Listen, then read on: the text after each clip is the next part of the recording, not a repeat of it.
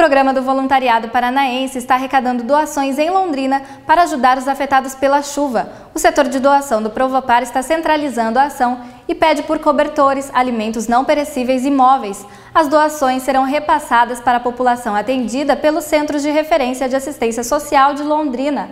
O Provopar também pode buscar as doações se necessário, de segunda a sexta-feira, no horário comercial. Para doar ou para mais informações, ligue 3324 2397.